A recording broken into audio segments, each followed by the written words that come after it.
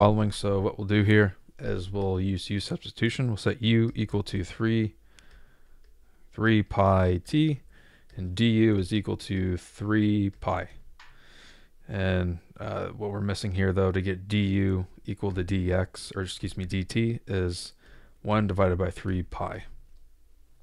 All right, so let's go ahead and integrate this, 0 to 1, sine of u du.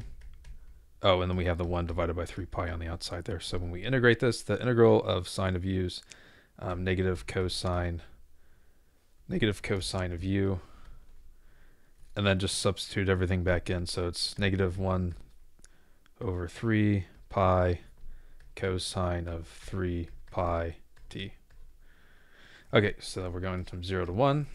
And when we plug this in, uh, when we plug in see here. We plug in, um, keep this on the outside here, 1. We get uh, 3 pi, and 3 pi is, there's pi, there's 2 pi, here's 3 pi, is negative 1.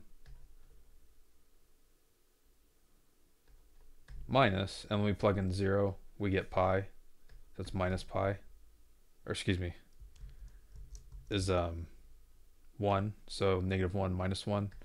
So what en ends up happening here is get negative 1 divided by 3 pi times negative 2 becomes simply 2 pi over 3. Or excuse me, just 2 over 3 pi. And that's it.